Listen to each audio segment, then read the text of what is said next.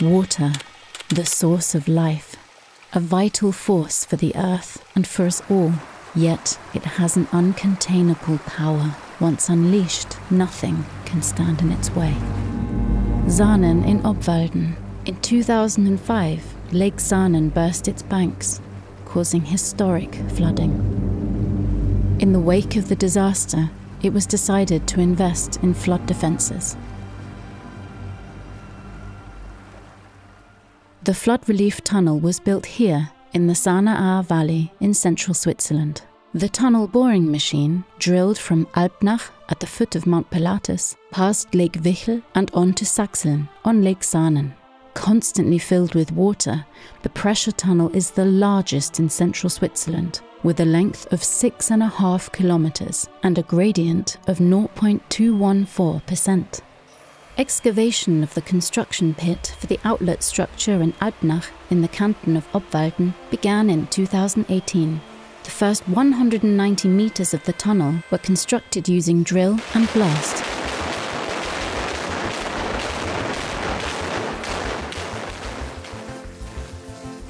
As there was very little space at the installation site at the nearby military airport, the TBM had to be assembled part by part in the excavation pit. The TBM components were delivered just in time. There was a fine balance between delivery and assembly. The mechanics had their hands full. The TBM was put together piece by piece in the excavation pit. Once finished, each element was pushed forwards into the tunnel to make room for the next.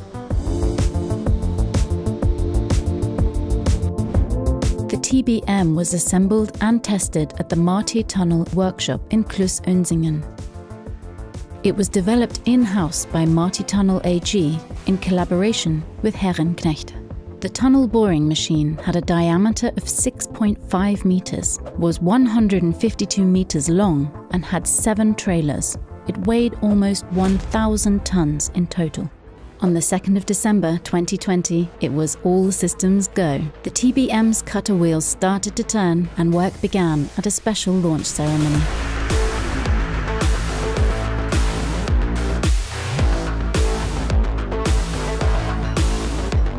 The TBM drove forward at full speed, achieving a one day record of 53 metres in 16 hours.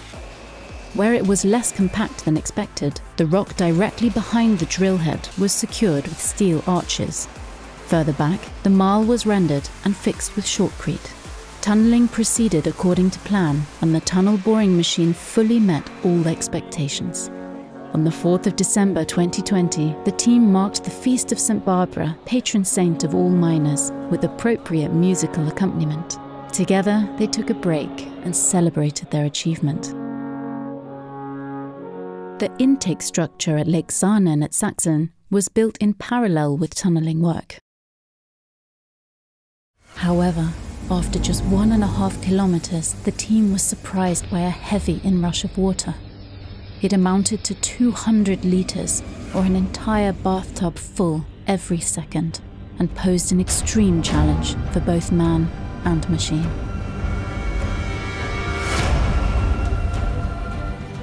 The day everyone had been waiting for came on the 15th of March 2023. After three years of tunnelling, not to mention countless challenges, the TBM arrived at its destination in Sachseln. Ich freue mich sehr, dass wir da zusammen als Team angekommen sind, unfallfrei und dass ja, Meilenstein erreicht haben.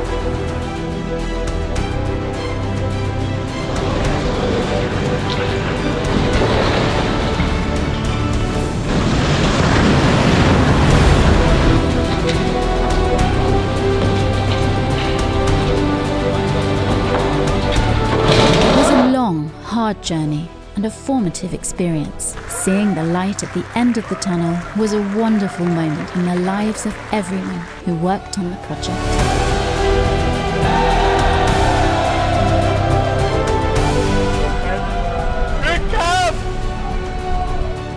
Thanks to the flood relief tunnel, people in the Sarneraa Valley are once again safe. Those living in Sarnen no longer need to fear the water. The uncontainable has been contained.